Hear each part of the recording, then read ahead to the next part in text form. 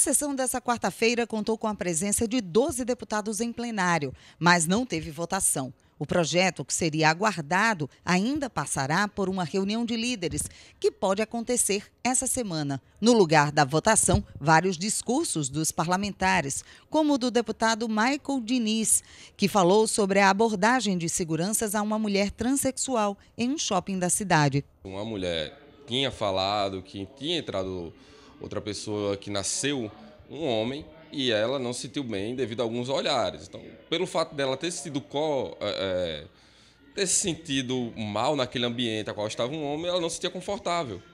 Entende? Então, eles abordaram de forma respeitosa, disseram, olha, por favor, não entre, porque essa situação que aconteceu. Então, meu discurso aqui foi, primeiro, parabenizando eles pela atitude, por saber abordar, saber dialogar, conversar, né?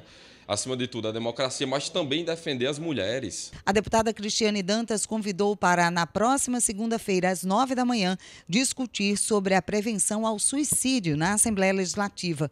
Já o deputado Hermano Moraes defendeu as lutas pelos direitos das pessoas com deficiência física. E o deputado Coronel Azevedo ressaltou o discurso do presidente Jair Bolsonaro na ONU. Como é tradição, o Brasil abriu a Assembleia Geral das Nações Unidas com o discurso do presidente Jair Bolsonaro, num período em que o Brasil tem sido referência de desempenho positivo na economia.